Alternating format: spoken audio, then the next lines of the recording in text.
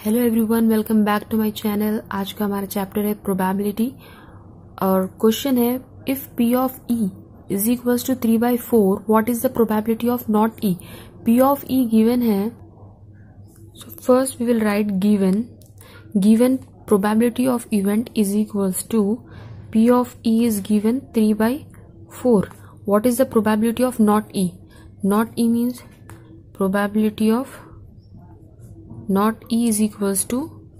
ये फाइंड करना है हमें। Now how can we find this we are having one formula एक फॉर्मूला है P of probability of event plus probability of not E P of E P of not E is equals to one ये formula है। By using this formula we will find this how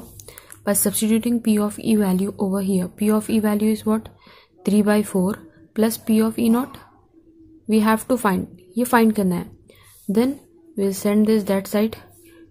complete number three by four यहाँ पर send कर रहे हैं। तो ये change नहीं होगा मल्टीप्लीकेशन में नहीं होगा। तो ये प्लस में ये थ्री बाई फोर तो वो चेंज होगा माइनस में। सिर्फ़ फोर को अगर सेंड करती तो वो मल्टीप्लीकेशन में होता था। बट वो एलसीएम लेने के बाद ही सेंड करना होगा। बट इन शॉर्ट ये पूरा नंबर वहाँ सेंड कर रहे हैं तो ये पॉजिटिव है, वहाँ जाने के बाद negative P of not equals to one minus ये प्लस है, वो साइड जाने के बाद थ्री बाई फोर